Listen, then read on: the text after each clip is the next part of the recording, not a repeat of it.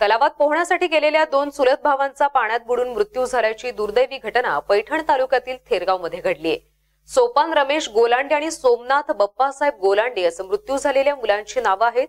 या घटनेमुळे थेरगावमध्ये हळहळ व्यक्त केली जातीये. पैठण तालुक्यातील थेरगाव येथील दोन चुलत भाऊ सोपान गोलांडे आणि सोमनाथ गोलांडे दोघेही पंधरा वर्षांच्या दहावीच्या वर्गात शिक्षण घेत असलेले विद्यार्थी शाळा सुटल्यानंतर गावाजवळील तलावात पोहण्यासाठी गेले. त्याच वेळी या दोघा भावांचा पाण्यात बुडून मृत्यू झालाय. पाण्याचा अंदाज न आल्यानं दोघेही बुडाले.